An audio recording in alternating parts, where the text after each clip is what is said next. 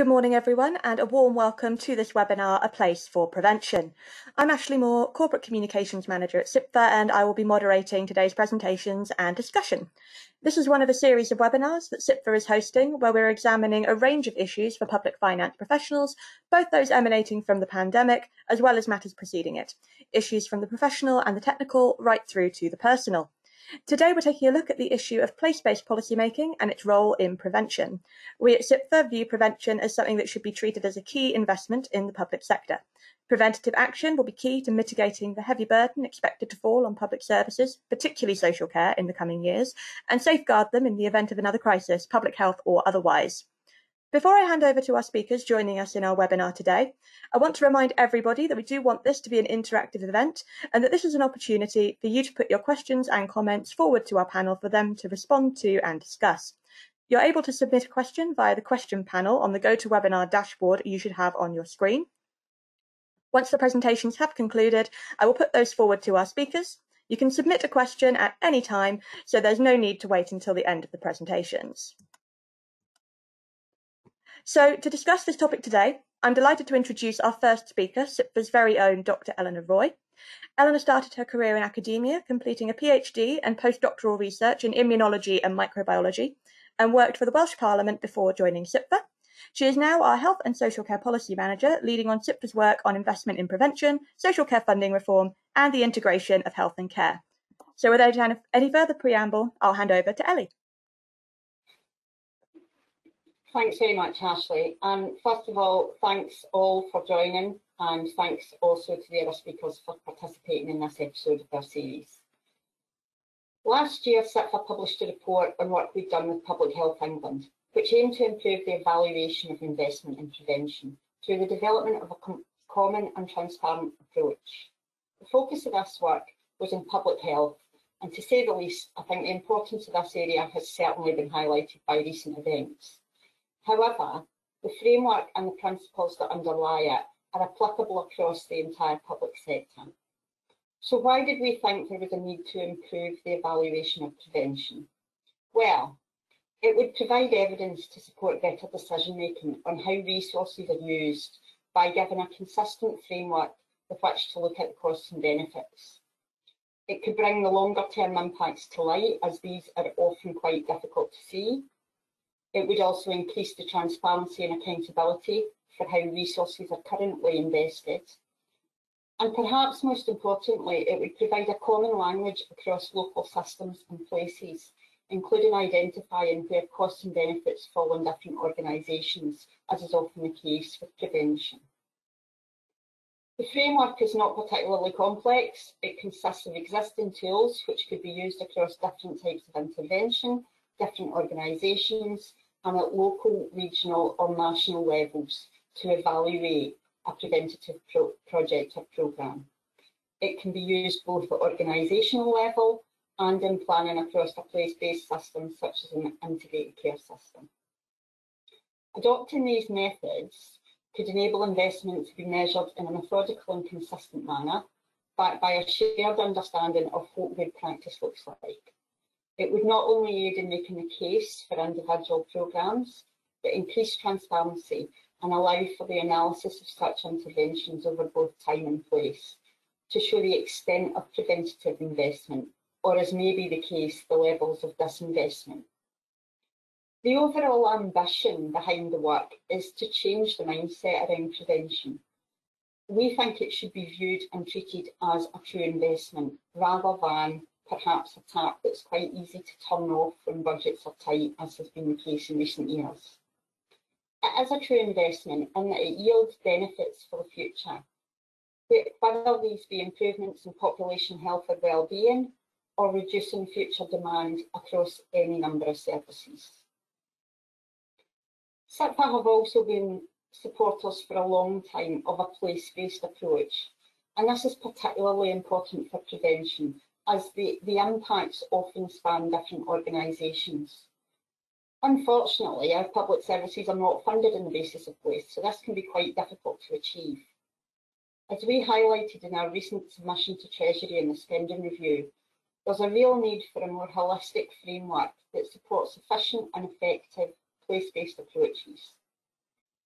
Place-based funding could allow for spending decisions to reflect local circumstances better, maximising integration and alignment of public services, whilst at the same time improving outcomes and value across the board. This alignment of place and prevention is where we share common ground with Breaking Barriers, as their playbook is demonstrating how place-based approaches can work in practice. And we're going to hear more about that in this session. So I'd like to hand back to the chair and move on to our other speakers. Wonderful. Thank you very much, Ellie, for those opening remarks. Our second speaker is Dr. John Bashford, Director of Research at Breaking Barriers Innovations. John is a registered nurse and has over 25 years of experience working in health, social care, and education in the public and voluntary sectors. Thank you for the questions that you've been submitting so far. And without any further ado, I will hand over to Dr. Bashford. Hi, thanks very much, and thanks for that introduction. Um, I'm just going to talk uh, very uh, quickly about uh, BBI and then go into talking about the programs work we've been doing in Kent and Portsmouth. Um, and we're also joined today with Muted. Um, Tidmarsh uh, from Kent, who's the um, SRO for Workforce and Innovation with the Design and Learning Centre, and Gordon Fowler, who's the Director of Finance at Solent NHS Trust. And all three of us will be available for questions as well at the end. So Breaking Barriers Innovations has been going since 2016 and we're about helping local areas working with NHS, local authorities and other partners and stakeholders to, to make place-based approaches work. And it was towards the end of uh, it was actually November 2018 that we developed our playbook. And the playbook is really designed to create momentum and to get consensus across system leaders and involve people in, in really moving to a place-based approach that's practical and innovative because we we tend to approach uh, system change and delivery and commissioning from all the perspectives of different stakeholders or individual organizations and the challenge, and we, we, we use building blocks in the playbook to address this, is to really get people onto the same page about this, thinking really that what we need to do is align the strategy to the single thing that's going to make the biggest difference. So really getting all the different sectors leaders to agree to that. But this is not about a piece of paper, this is about an evidence base, it's not ideological. And it's really about being able to translate what we want to achieve into culture and practice, because sometimes people go into the room, think they've agreed something, go out again, and actually everyone's back into their silos again. So we have to get that strategic alignment right and agree what the dominant strategy is going to be to achieve the things we want to do. But also we have to make sure that we've got residents, service users, local people fully engaged with this, that they're included and empowered to take part and that that's sustainable over the longer term so that we have proper community support for a co-design approach to any changes that are going to take place. And then we have to bring the workforce with us, not just in terms of recruitment and retention, but thinking about breaking down some of those professional and organizational barriers through cross-professional learning networks, use of skills ladders and competency-based learning to really make place something that the workforce feels able to deliver and we're set and with a, a workforce for the future. All of that culminates with an action plan. So it's co-designed, it has the workforce and skills plan to it. It brings in innovation and learning from industry and community and voluntary sector, affordable, sustainable, and with a right governance route. And I'm going to talk about um, the Kent and Portsmouth, but we're actually doing the playbook program now in six areas, uh, and people can contact us if they want information on any of the other areas. But we're here today to, to talk about Kent, uh, and this program was focused on prevention, particularly for marginalised groups. And to think about prevention is, is, really important as to what we actually mean, because not actually everyone always agrees about this. We have some big centralized national approaches in key areas. These have been really important. They've been very successful in many ways, but they are focused on individuals and conditions, on individual behavior change and specific conditions. But what we have to get to, and this is really important when we start to think about the economic base behind prevention, is the context.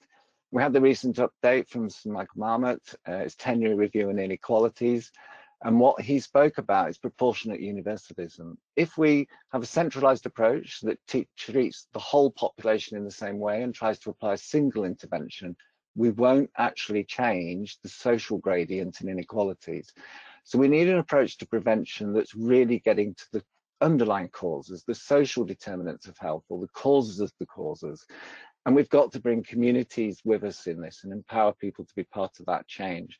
So the overall approach is actually one that's about the whole economy, not just a discrete set of interventions for prevention.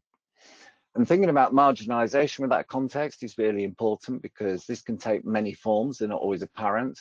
And within the Kent programme, we differentiated between sort of formal and informal approaches to thinking about marginalisation, because this is very much something that takes place in time and place. And it's key to understand the very localised, nuanced ways in which people live and the conditions in which they live that's leading to and creating marginalisation and especially how we bring that into the context of people's lived experience.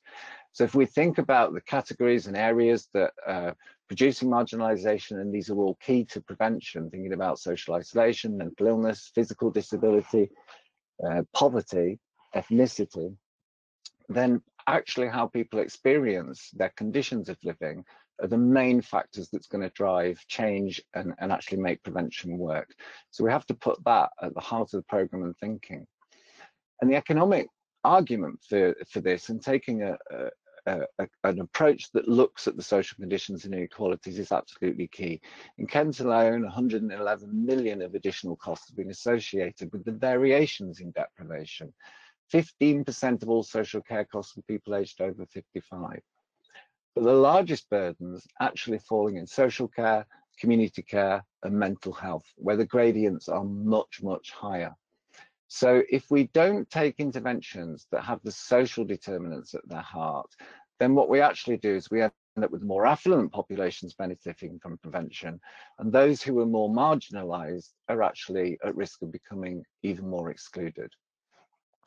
So in the Kent Action Plan, we, we spoke to a number of, of workers from across the public sector and community voluntary sector and parish councils and service users. Um, and we looked at a lot of the evidence base. And these are the key things that we have identified in the action plan for change and development. Transport came up as a really significant issue, not just in terms of actually getting people to services, um, but actually thinking about alternative ways that transport options can really help people address health inequalities. And linked to that access point is actual what's happening with services. So it's not just a case of being able to get people to services with affordable transport. We've actually got to think how we've uplifted the access criteria. And this has been happening now for 10 years and is, is very much an impact of austerity. So the the people now who are accessing services are those with the most severe problems. It's almost like we're waiting for problems to reach crisis point before we're actually really intervening. So we're going in the opposite direction in terms of prevention. And the, a lot of the burden of that has really fallen on the community and voluntary sector. So if we think just within our silos of health or social care, we'll ignore one of the fundamental facts at the moment that, that's really uh, important for this is how the a, a place-based mixture of services, including the community and voluntary sector, is really key. And we've learned from COVID that uh, particularly there's really differential impacts going on for some groups who are much more affected by what's been happening with COVID. Um, but also some of these differential impacts predate COVID, that we already had this built-in level of inequality for some marginalized groups and communities where they have um, a completely different experience. So we've got to get people's trust. If we're going to get people to engage before they reach crisis points and to actually think and change behavior around prevention, they've got to trust. And we have to address the basis of exclusion on place, where people live, if they're cut off, if the services um, have disappeared and a lot of community ones have, then we've got to rethink the way that we think about this in terms of the local context of where people live and then be able to address the stigma that's associated, particularly with being marginalized, discriminated against, and how people withdraw and are less able and willing to engage. We've got to, within that context, then look specifically at the groups that are most affected and the factors of marginalization that's driving that. And underpinning all of that is poverty. So in summary, we've got to take a very localized approach to prevention. We've got to think about it in terms of place. We've got to get consensus on what we mean about the definitions and moving away from an individual condition focused one to one that's actually bringing in social conditions. We've got to not just think about this in the sort of formal legal terms of identifying uh, groups that might be more marginalized, but to actually look at the lived experience of people's perspectives and, and what they are saying is important to do and to change. And that brings in a real need for co-production, community engagement has been key to embedding our approach. And it can't just be a one-off project. We've actually got to do this as a whole. And if I just speak about Portsmouth, um, in Portsmouth, we were looking specifically at social isolation and uh, loneliness. And this is a, a, really underpinning area for a lot of factors that's feeding um, health harms and problems. There's, there's a strong evidence base here that just this area alone is responsible for, uh, is as bad as smoking 15 cigarettes a day. It creates increased risks for depression, cognitive decline in Alzheimer's, it's associated with coronary heart disease and stroke, and people are more likely to die prematurely. So the costs of just being socially isolated and lonely are really, really high. But actually, we talk about social isolation and loneliness, these people are knocking on every door. 80% more likely to visit a GP, 60% more likely to visit A&E, 30% more likely to have an emergency admission, and 350% more likely to enter local authority residential care. So the economic base for a prevention approach to this issue, and this is one of the most sort of marginalized groups or an aspect of marginalization that people really have in common, it's key. We do have um, some specific service elements that we try and use to approach this, and these are important, befriending schemes, day centre activities, bereavement counselling, but of far more importance are the um, structural interventions, the ones that are actually supporting communities themselves to build resilience, for people to connect, um, thinking about volunteering, face groups, sports. And again, COVID has taught us a lot about the real value of community activism and engagement in this context and how powerful that can be to help address things.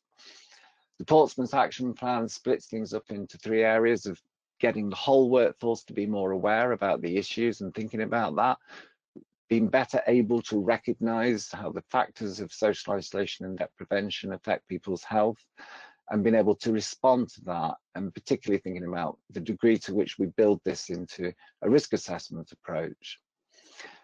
COVID has made this even more important. We've got new at-risk population groups. So young people at the moment are actually reporting being even more isolated and lonely than some of the older groups. We've got to capture the learning from all that grassroots activity that's gone on so we can embed this for the future. And we don't actually, people talk about the new normal. I think there's a risk of returning to the old normal and that we'll lose some of the, the benefits of this community engagement that's been going on in terms of COVID the economic case around this is equally high again. So additional social care costs just for the most lonely people are in excess of 6,000 per person a year. And we tend to approach um, prevention initiatives and, and, and looking for gains from the point of quality of life measures but none of these are actually specific to pick up changes in loneliness level. They don't capture the benefits of reductions in loneliness for health. They don't capture the benefits of working with particularly marginalized community or groups. And they can be quite narrow in some of those prevention focuses if they're just on individuals. The potential return on investment for befriending schemes has been evaluated at 24 pounds for every pound invested. So that's high. But imagine the savings if we were actually to take a much broader approach and think of a whole inclusive social economy to embed cost benefit analysis in overall needs assessments, thinking particularly about getting that financial approach into JSNAs, to bring a broader focus of benefits in terms of wider social gains, not just in terms of individual service gains, but actually how we get that economic renewal going fundamentally as part of our thinking about prevention. And then to get regular reports on that across the public sector. We want to actually extend the conversations around our playbook areas and would be really interested to hear from people on the call today if you want to know more about this, if you want to uh, share with us some of your own uh, initiatives and where you're moving beyond those traditional prevention initiatives to ones that get more fundamentally to the underlying conditions. and particularly thinking about how the role of place is central to our approach to commissioning, planning, service delivery and what that means in practice. And we're very keen to engage with the directors of finance in developing new approaches to investment and prevention. And you can contact us to do that. We'll also send out the slides. We'll share these with people because I've gone through this quite quickly. But I'm very keen to actually bring in um, Anne and Gordon to comment on the programmes in Kent and Portsmouth uh, and their perspectives from their particular roles. So uh, I think we can stop sharing there, and I'd like to ask Anne to to to give us to share some of her perspectives about this. Okay, thank you very much, John, and uh, uh, thank you for allowing me to to say a few words. It's um, I'm really delighted uh, that I'm able to because it's been uh, uh, really good to work with the Breaking Barriers team, and uh, in the presentation uh, about Kent, but actually also Portsmouth. Um, one of the key things uh, that you've highlighted is that place-based approach.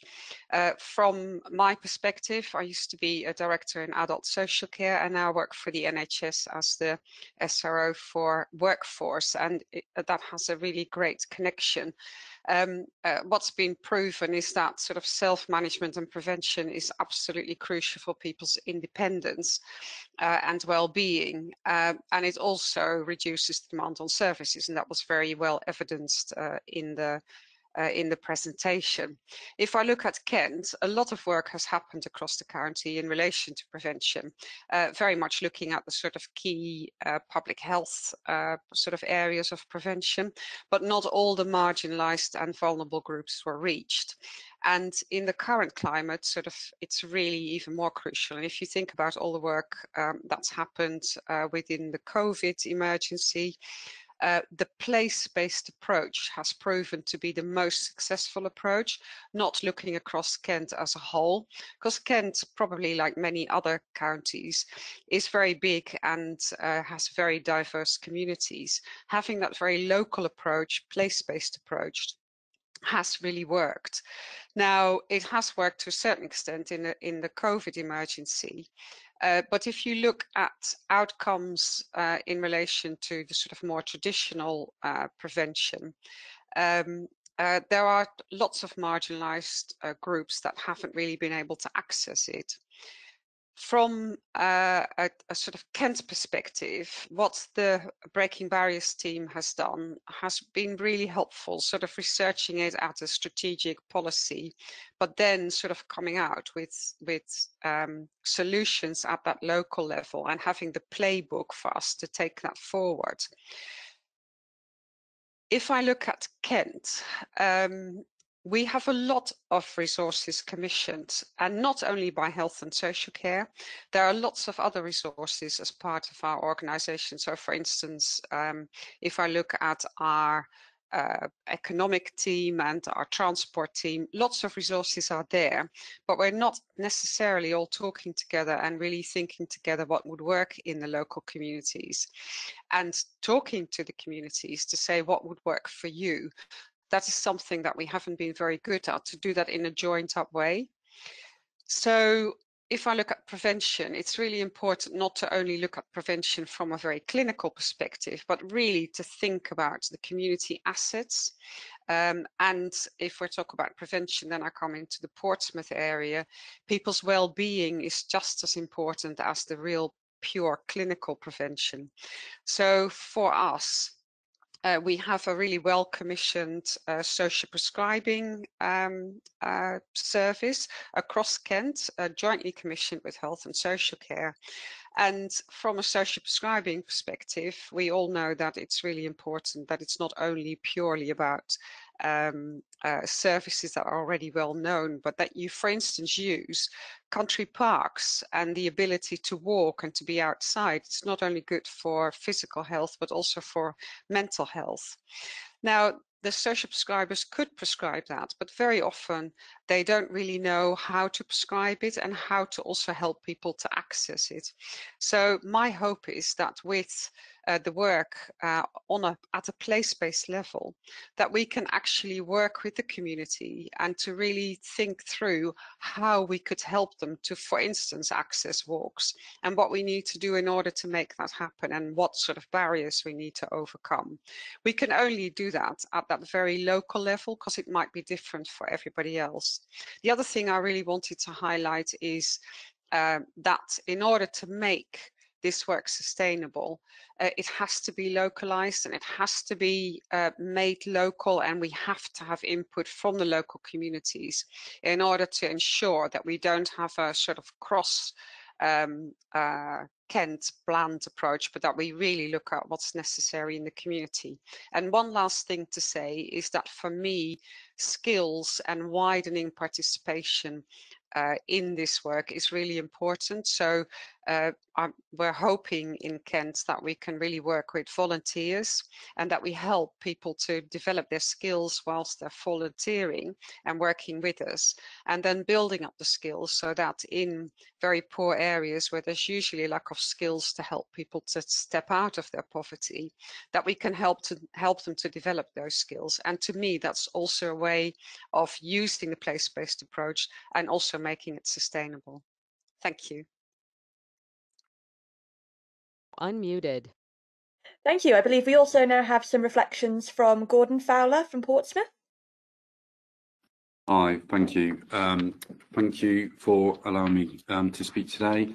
Um, yeah, uh, everything that everybody's just been talking about um, it, is absolutely critical. I think the stats that John's just gone through, um, very insightful, very informative, and it shows you what impact we could make. Um, to me, um, the co-production and the local place is absolutely key to it. Um, everywhere's different, everyone's got different needs. And um, when I talk about co-production, I, I, really mean that engagement. We've just had our engagement strategy, which is helped influenced by the work that John and his team have done, um, looking at the loneliness, for example, about, well, how do we get to those communities and how do we really hear? Because we may think they need something, but actually they don't. They've already got that. They've got that covered. So um, what is it that we need to be doing? And are we funding things that maybe don't need to be?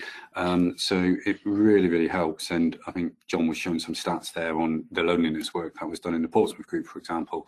The amount of um, A&E attendances and GP appointments just because um, of that loneliness, which actually was there other um, clinical um, conditions apart from that there wasn't that many. A lot of it was driven from that. So this um, uh, prevention um, can really have an impact on health, social, and voluntary organisations that um, support. Um, to me, uh, one of the, the hardest things is benefits. A lot of people speak to me, well, where's the benefits of this? And because um, everything is so big, um, people say, well, um, we'll never see the benefits. Are you sure it was this that was um, impacted on it?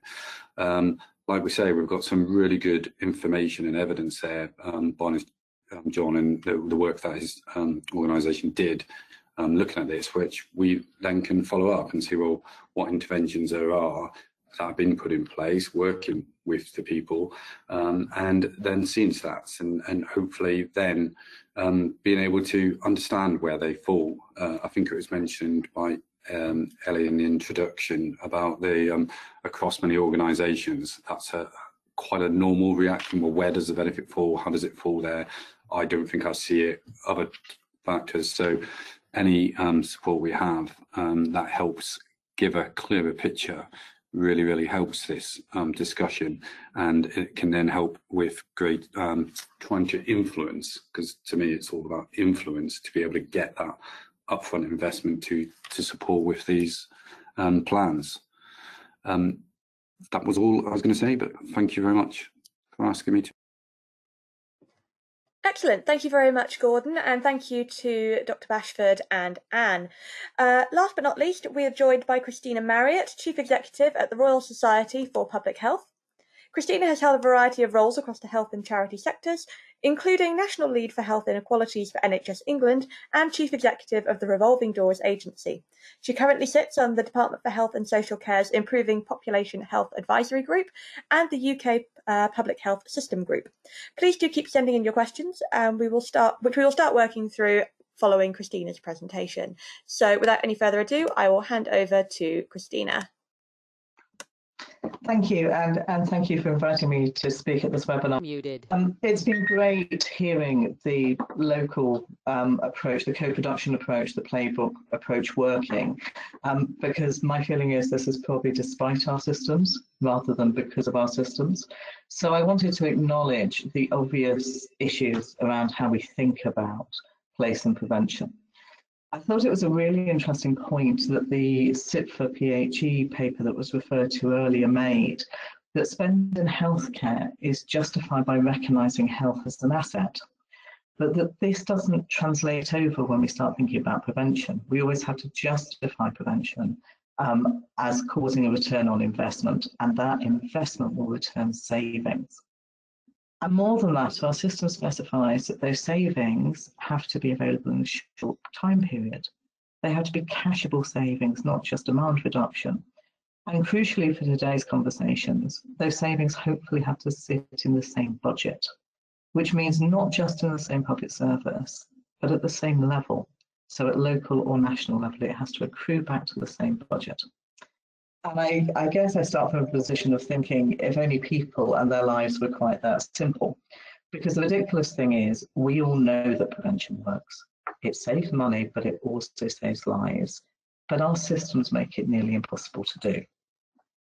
So in my previous role, which was referred to as at Revolving Doors, I've just spent five years working for system change for those who are repeatedly in the criminal justice system where their lives are severe disadvantage incurs truly staggering amounts of public spend, um, usually in crisis response, usually without changing the fundamentals of their lives, usually without removing them or their families from their misery the models that we worked on, and, and we did some work around the new economy um, model um, using the Green Book, the models showed really substantial returns on investments for relatively small investments in, for example, substance misuse treatment or mental health services.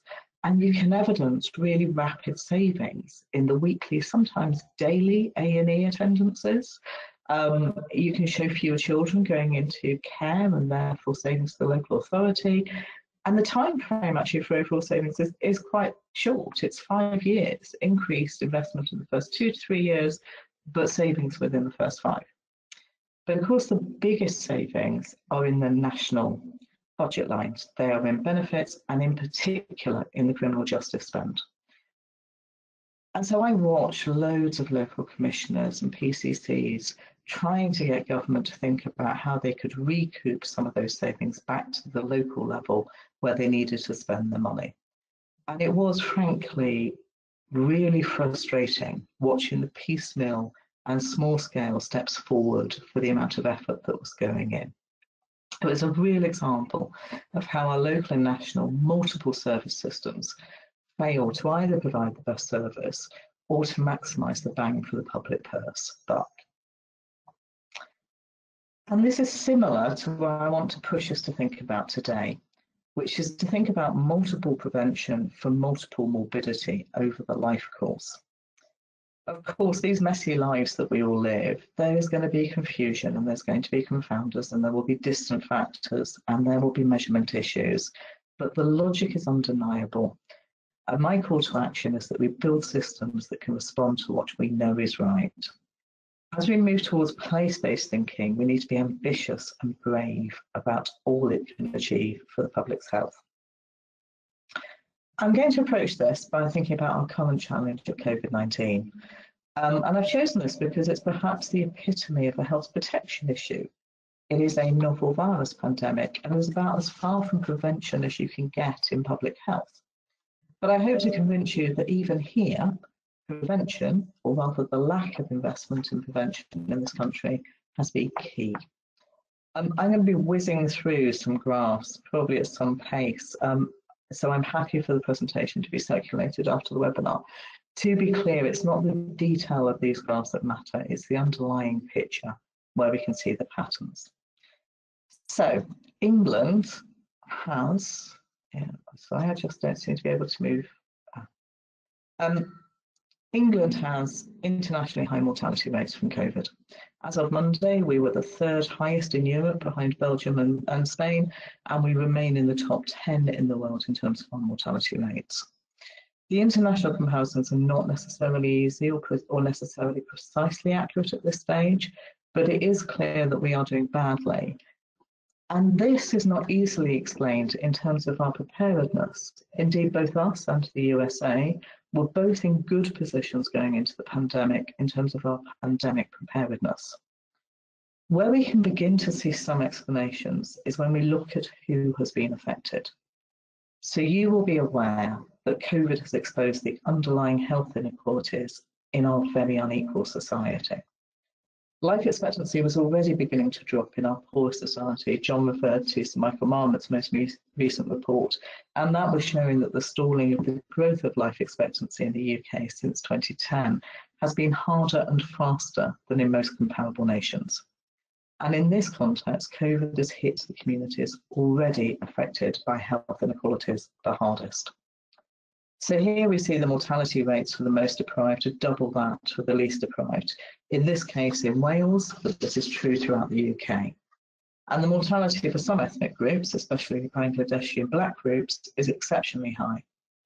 And of course, as we know that some of the explanation for our comparative international performance is the degree of urban living in the UK, we also know that when we think about deprivation and ethnicity, some of the explanation is to do with exposure to infection through being a key worker. And here we've got the differential rates for different ethnic groups of being a key worker, especially in health and social care, or living in crowded housing, or living in an urban area, or using public transport, or not being able to work at home. Those are some of the explanations. But it is also about the impact of underlying highly preventable health conditions and I will focus briefly on two linked conditions, overweight and obesity, and on type 2 diabetes. Because the evidence is really clear that both were substantial risk factors for severe COVID. Here we see that a BMI of over 35 makes you four times more likely to have an ICU admission. And is also highly significant for COVID related mortality. So type 2 diabetes more than doubles the risk of mortality in the over 80s and has even stronger effects at the other ages. So the health of our nation going into COVID was significant to our performance under COVID so far. And that health was not good. And it was not good in some rather predictable, unequal ways and with some of the most modifiable conditions. So we have the third highest rate in Europe for adult obesity, and these rates are highest in our poorest communities. Nearly twice as many adults are obese in our most deprived communities than in our least, and for women in this group, 60% have what is termed a very high waist circumference. And there are strong environmental reasons for this, including our planning, our food environment, our travel environment, um, and this has been part of RSPH's previous work in this area. We also see those differences in obesity according to ethnicity. So 74% of the black communities, of people living in black communities in the UK, are overweight or obese compared to 62% of the general population. And we also see those differences in rates in type 2 diabetes, six times more common in the South Asian communities and three times more common in the black communities. So preventing mortality through a novel virus pandemic perhaps the definition of a health protection challenge is beginning to look also like a prevention challenge. Had we prevented the obesity and the type 2 diabetes, what might our mortality rates have looked like? And what might they have looked like, especially in our deprived and our ethnic minority communities? And this is why I'm going to ask us to look forward and think about where COVID and the coming recession will leave us because it seems predictable that the communities hit hardest by COVID will also be those hit hardest by the ensuing recession. They have the least secure employment and the evidence is already mounting. And we know that these communities are already most likely to suffer from comorbidities. the coexistence of one or more conditions. We know comorbidity is a growing challenge to our lives and to our healthcare. It is happening at a younger age. Those now in their 80s, brought up during the war of rationing, developed comorbidity in their 70s. It's now happening in our 60s. And it will not surprise you to know that this too is socially graded. Those in the poorest communities have higher levels of comorbidity and at younger ages. And this makes sense because of the common etiology of so many non-communicable diseases. The risk factors, the lack of physical activity, the poor nutrition, the smoking, and the wider determinants that underpin them, the poor housing, the lack of safe green spaces, the obesogenic environments, the relative socioeconomic position, the experience of racism, are all risk factors and determinants for whole clusters of disease. So having argued that comorbidity is a major factor in how we are being affected by COVID, I'm going to pull a couple of threads together. As a nation, we have been one of the worst affected by COVID mortality, and the evidence is that our economy has also been hit worse than comparable countries. We know that part of this is because of our health, or rather the comorbidities of the population as we went into the pandemic. It was our failure to tackle our prevention challenges. We know that some communities are being hit harder by the clustering of pre-existing comorbidities, pre-existing socioeconomic challenges, and now a heavier burden under COVID, and we can expect a heavier burden under the economic effects of COVID. And they are also the communities that are already most likely to suffer from comorbidities. And if long COVID proves to be a substantial issue, and I think there are indications it may be, they may be most affected by that also. And so I want to return to the shared etiology of disease and its determinants to throw you a last challenge, but also an enormous opportunity. Because we know for each of these risk factors, that whole population structural change, as John was, was talking about, have the most potential as prevention measures. And they have the potential to work across whole clusters of comorbidities. So as we struggle to think about how we can work in a place-based way to prevent one disease, we should be acknowledging that the real potential is to take a structural approach to a whole pantheon of diseases. And in doing so, we need to acknowledge we can only truly approach prevention with a life course approach. We could not have prevented COVID mortality just from March onwards without having already tackled the living and working conditions of people and the health status of our ethnic minority and deprived communities. We know the routes from childhood obesity into the adult type 2 diabetes, much like we know the routes from poverty and adverse childhood experiences into adult lives of criminal justice contact. Our challenge is to change them. This is a technical challenge, how we conceive of whole life prevention and build public investment systems to support it. But it is also the real opportunity of putting the place into prevention and prevention into place. Thank you. Unmuted, muted, unmuted, muted, unmuted. Wonderful. Thank you, Christina. And thank you to all of our speakers. So we're going to move into the Q&A portion now. So let me just pop out our question box. Great. So I think we're going to kick off with bringing it back to some of the content that was in Dr. Bashford's presentation and the sort of hyper-local nature of place. So Ellie, I was hoping to bring you in on this first. How do we define place? How hyper-local should that be? And what, what is the division between local and national with this particular issue? Oh, that's a very good question. Um, how do we define place? I don't, I don't think there is a single definition. I think that very much depends on what you are trying to achieve and what you are looking at. So, as an example, um, our chair mentioned at the beginning that one of the areas I work on is health and social care integration. Um, those of you that are aware of that, apologies telling you stuff you already know. But the way that that's being done in England is, is to form integrated care systems or, or sustainability and transformation partnerships that are composed of um, NHS and local government organisations across some of them fairly large geographies, some of them are, are, are smaller. Um, but within those systems, there's then three different levels of place, if you like.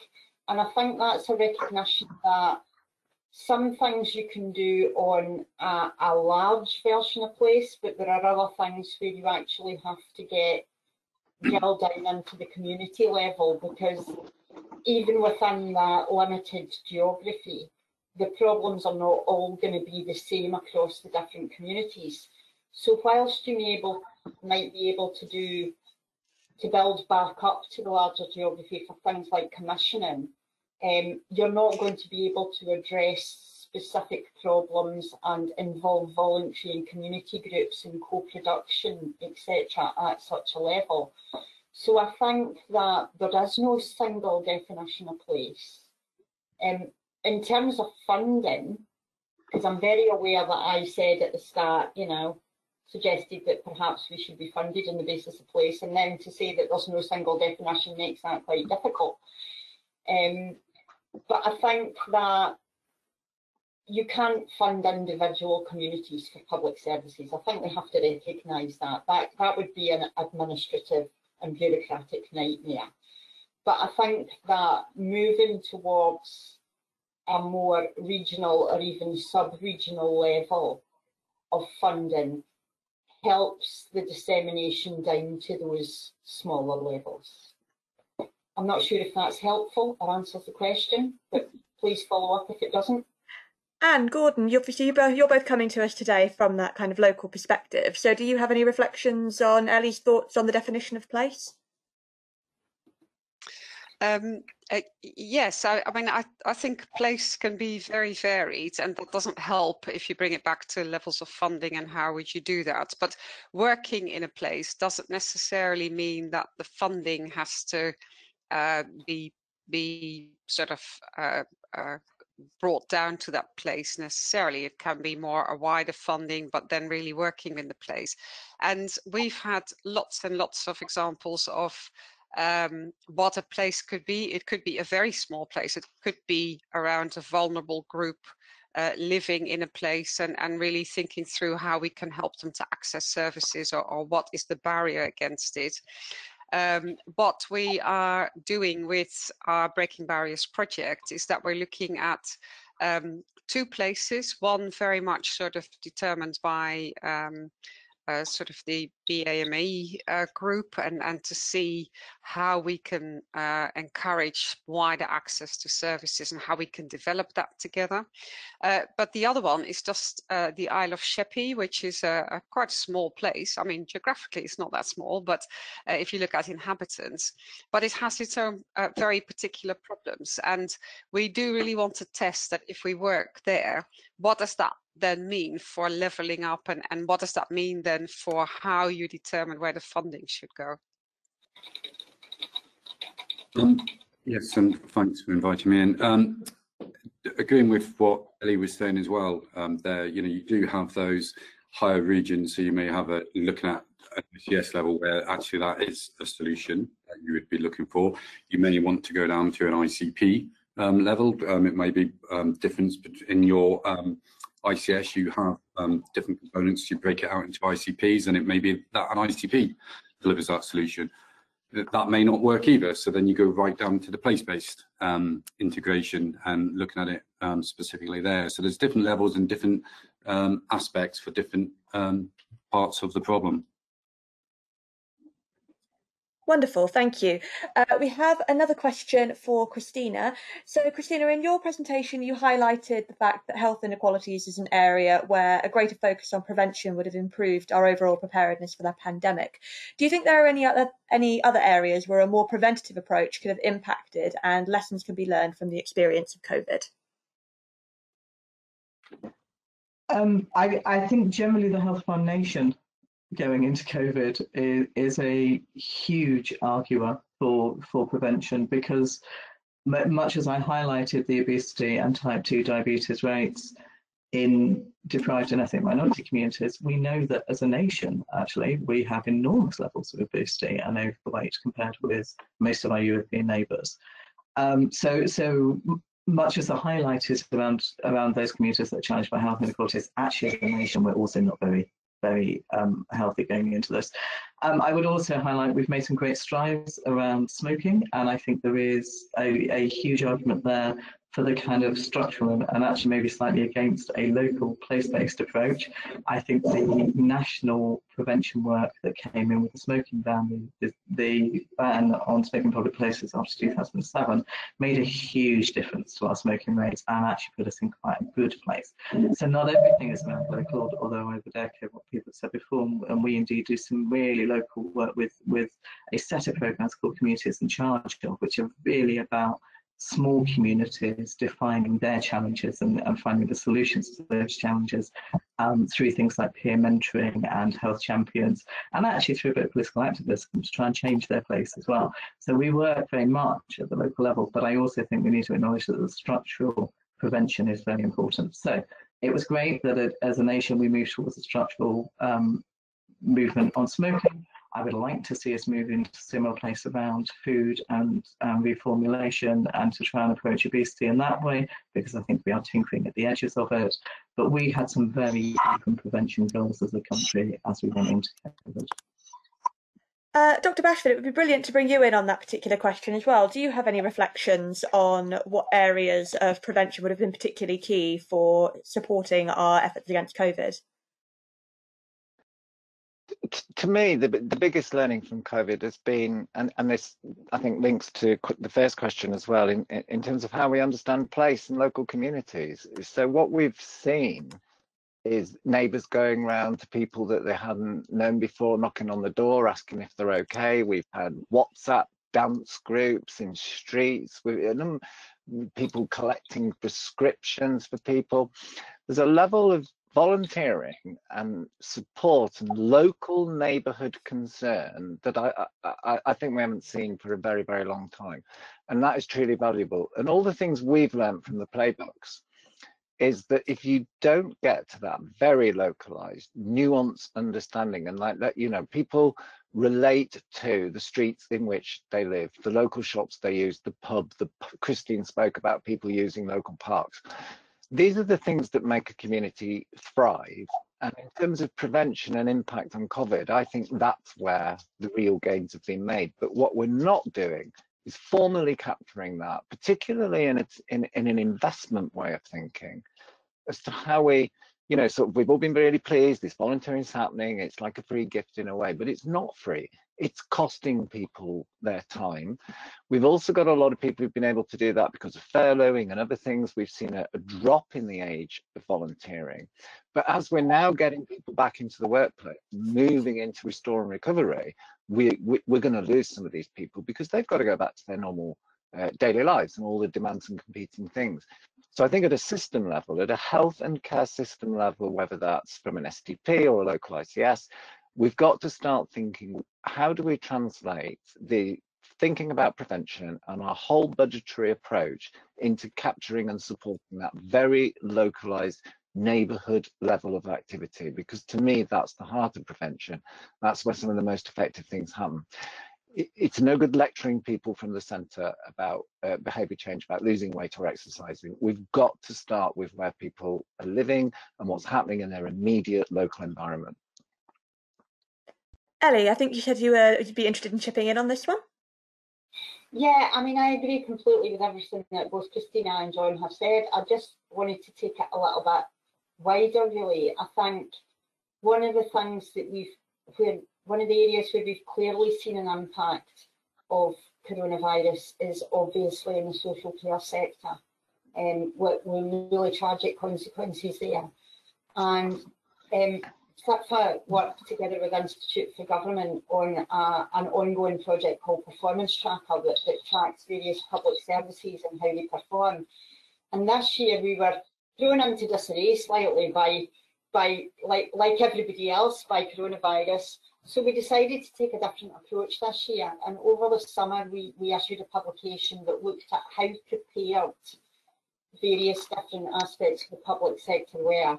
Um, and it was a very much um, qualitative piece of work, if you like, in that we, we did it by conducting interviews um, from people with experience from different public services.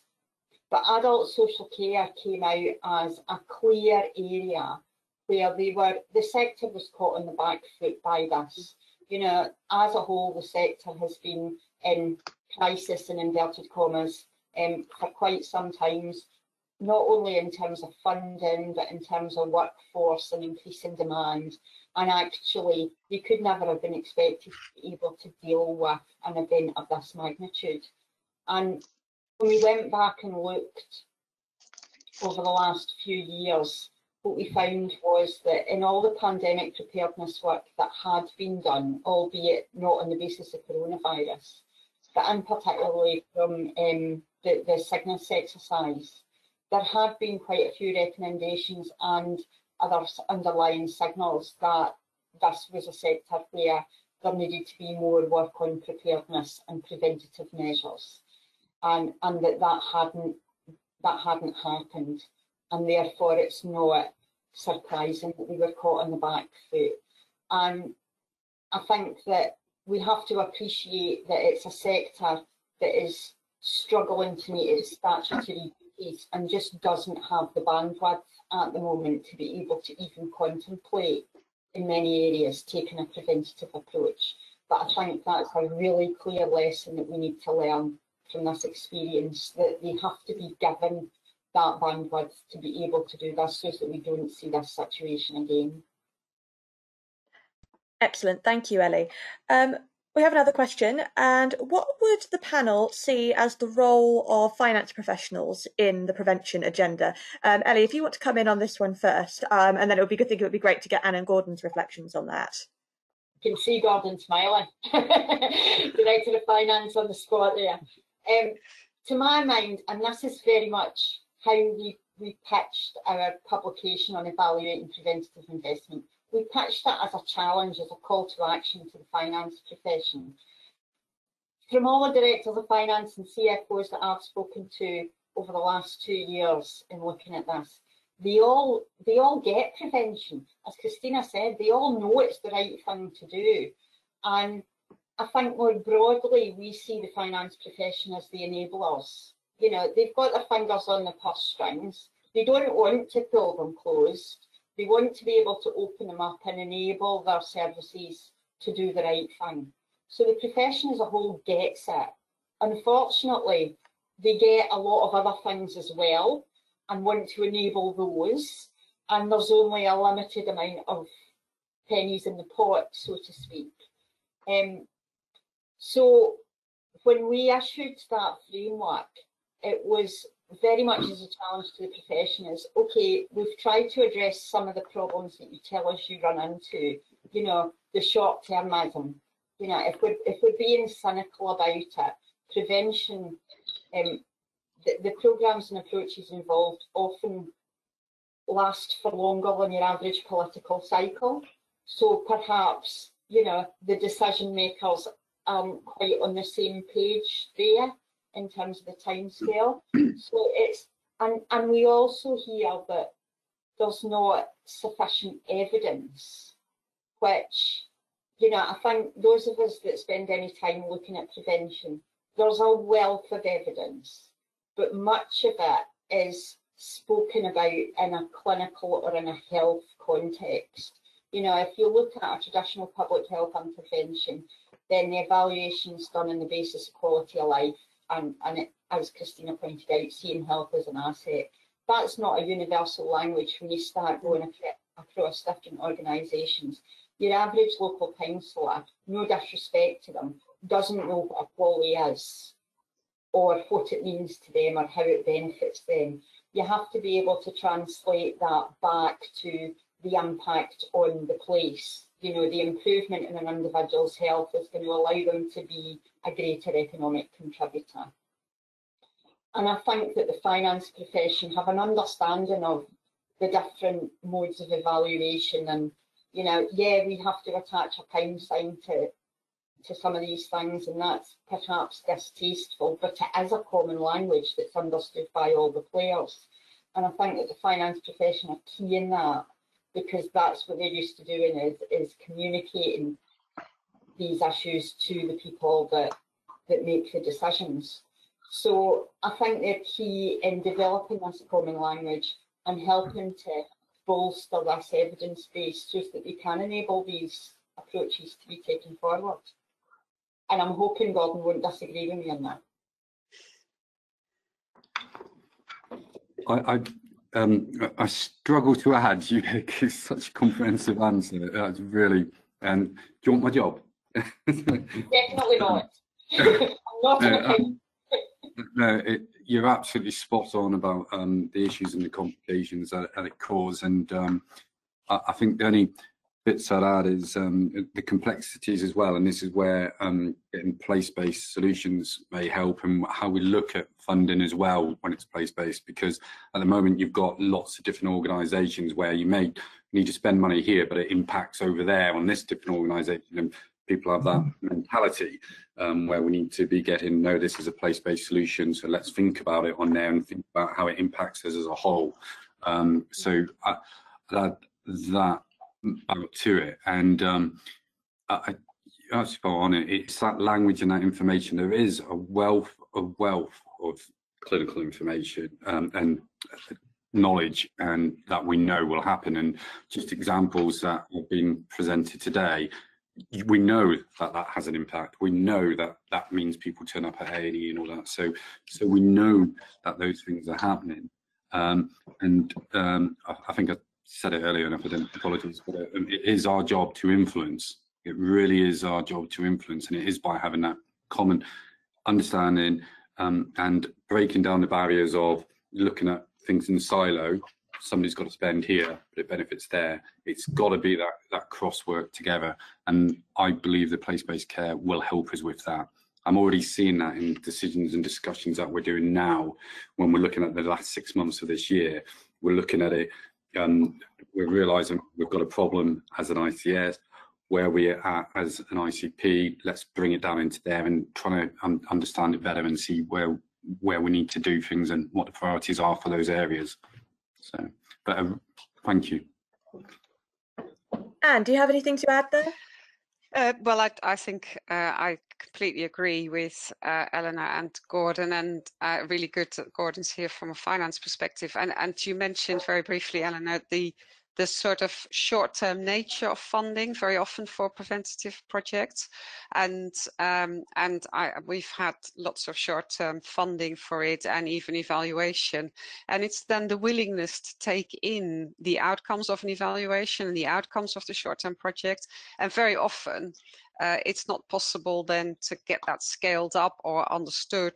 Um, and the point that you made, Gordon, about um, uh, organizations in one system still having separate uh, budgets. So the decision to trust that if you invest here, you get an outcome there, and then to actually make that happen, uh, that is still a big challenge.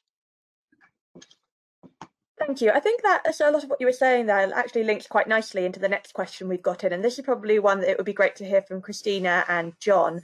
So you were talking there about breaking down silos and developing common language and common understanding. So how can we best increase the links between health, uh, our health sector colleagues and those in local authorities, whether that's directors of transport or environment or social care or any other services, to increase attention to the issue of the social determinants of health? Christina, would you like to come in on that one first? Okay, um, just to actually pick up on the on the previous one, I actually think finance is so key to making this work across place, and and and what people can do is is commit to that collaboration across the place base and to facilitating, demonstrating how we can get public sector savings through, uh, you know, despite the issues of short short termism that piece of collaboration at the local is absolutely where this will be driven from. It's where it's where the impact on communities will be, but it will also be how we develop the evidence base that can take this forward. And I think actually a coalition of willing finance people in local in local systems, it will be transformative. I think their challenge after that will be finding the equally collaborative and willing people at national level who can then get into a conversation about how you work with budgets where the savings accrue to national. And I think that's a, a real issue actually, because I think we can do fantastic work at the local. Um, uh, but the local should get about the benefits of that, and that includes the benefits to the benefit purse, and it includes the benefits to the criminal justice person. And we need to find mechanisms of doing that. Those of us who aren't finance experts can't be the people who find the solutions to that. So absolutely for finance to take forward to, to and to work collaboratively to have those robust conversations um, back to Treasury and to Whitehall. Um, sorry, having commented on the previous comment, this was around how we can get local authority and health to speak the common language. Yes, and John, to, do you want to start? I'll pick up. Yeah, um, I mean, this is absolutely something that the, the BBI playbook seeks to do. Um, and from the very outset, and that first building block of strategic alignment is about bringing these disparate groups together. And I think it's not just health and local authority. We've got to get the community and voluntary sector in at the outset. And we've got to recognize that the building blocks are interdependent. So it's not just system leaders, and it, it, would be really good to have finance directors in some of those meetings at a much, much earlier point. We bring them in far too late. But also, uh, one of the aspects of the, the BBI playbook is cross-professional learning. So we talk, we've been talking a lot about the kind of in organizational silos and overcoming those to get a playbook approach. We've also got to address the professional silos. So some of the things we're looking at in Kent, for instance, is how to use role rotation and to get different public sector workers to interchange with each other. Let's get some paramedics in primary care. Let's get some hmm. social workers uh, in in um, different aspects of health provision and some nurses into social care positions. Let's look at the whole issue of placements within learning contexts and make greater use of some of the community and voluntary sector agencies um, and if we take a, a competency-based approach to professional learning, it moves us into a different position. And I think these are powerful tools to break down professional silos and then to get them we can then start to develop that common language and we can get much more common understanding of how each individual intervention is great, but actually it's how we get the, the whole of the sum of those parts and actually get a more collective understanding of each other's roles uh, and, and, areas of responsibility, but how we can fundamentally um, act as a whole across a different types of workforce rather than individually. And I think it'd be really good to bring finance into that notion of role rotation. It's it's it's not easy to got to really capacity, uh, but it's it, it's possible, and we are starting to see some of this. I think from from my experience, also one of the real breakthrough moments across any kind of cross cross uh, sector piece of work is actually starting from the human. And that's about understanding the lives and working in co-production or listening to communities, or actually just you know using design techniques that take uh, you know typical people who are using services, just putting the focus on the the individual human being at the center of these services, and then thinking about your design from that place outwards, I think actually can be quite transformative because suddenly you realize that, you know, the top 10 um, often referred to as things like frequent flyers, high volume service users in one system will also be the top 10 in every other service. And then thinking about what that life might look like to actually lead, or even better, talking to the person whose life it is that's being led and asking them where their design solutions um, you know, what, what do they want their services to look like? What would work for them? What should this look like? Actually can be massively transformative, but it also can be really inspiring for people working in public services to be able to focus back on, on the human beings that they're all there to serve. And, and I think that works really well. I think there are ways of facilitating that. Sometimes things like co-location and hubs work really well as well. So getting people physically out of their silos into offices, thinking about the same people and talking to those people, and more importantly, listening to their service users, I think can be really transformative in, in thinking about how we do public service. Can I add to that? Is there time for that? Absolutely. Um, well, it, it's I really uh, uh, like what you're saying, Christina, and I think that is absolutely core to uh, a way to uh, to almost force organizations and, and systems to work together. And in Kent, we're uh, implementing the Esther program, which is, well, it's not a program, it's the Esther philosophy, which we have taken from Sweden. And the key thing is that we all talk to individuals and say what matters to you and, and what is really, instead of what is the matter with you, and we have our own solutions, but what matters to you.